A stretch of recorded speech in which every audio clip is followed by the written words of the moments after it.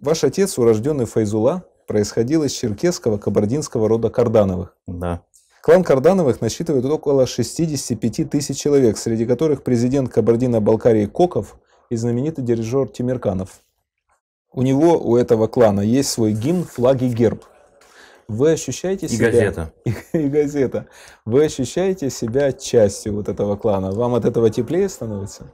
Вы знаете, это очень согревает душу тяжелые минуты, которых немало выпадает на судьбу художника и просто человека, который пытается что-то принести миру интересное. Вот. И вообще приятно знать, что у меня есть малая родина, Кавказ, который я обожаю. У меня есть родня, среди которой много-много интересных, талантливых людей. Я помогаю сейчас художникам Северного Кавказа, независимо от того, они при- принадлежат к нашему роду, к нашему клану старинному и громадному. Я открыл для себя несколько скульпторов интересных.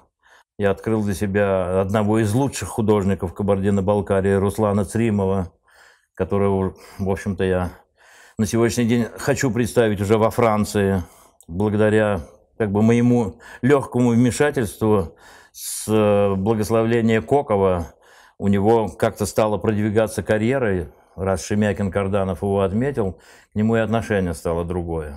Но я сейчас хочу, чтобы просто-напросто люди узнали, что существует такая страна, Черкесия,